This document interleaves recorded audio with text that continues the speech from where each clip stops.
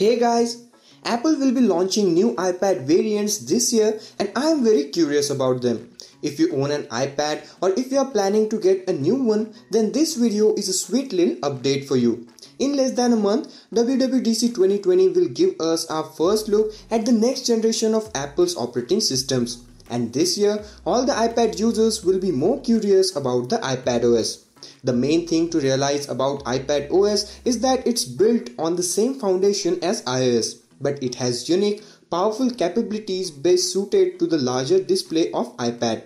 After the introduction of iPad OS 13 last year, now it's time for a new version of iPad OS which will be called as iPad OS 14. So here's what we want and expect from iPad OS 14. But before that, I am Raj and now let's get in.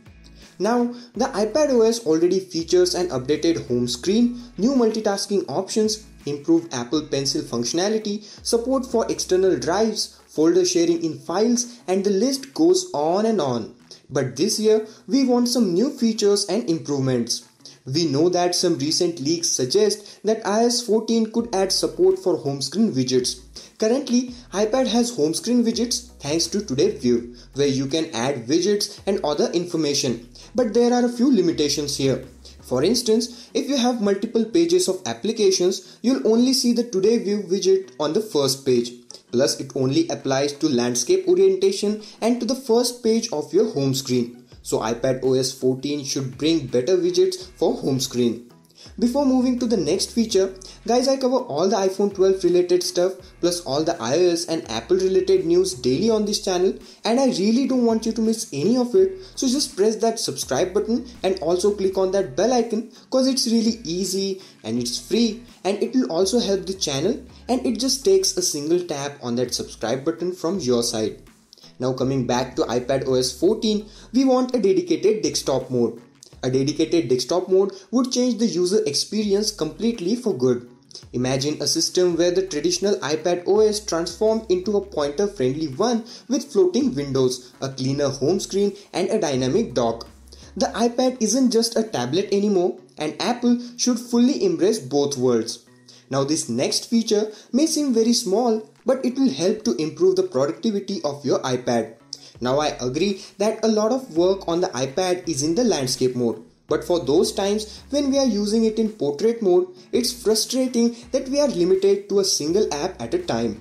We are not sure why Apple limits split view to landscape mode, but I would love to get this split feature when the iPad is not in landscape mode. Next up, a low power mode on iPhone is great when we need to salvage the remaining battery to make sure we make it to an outlet before the screen goes totally dark. For some reason, it doesn't exist on the iPad and we're not really sure why.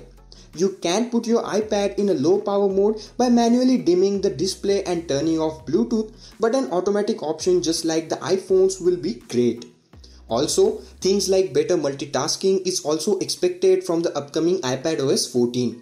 Also, easier access to control center and notifications is something that all the iPad users need.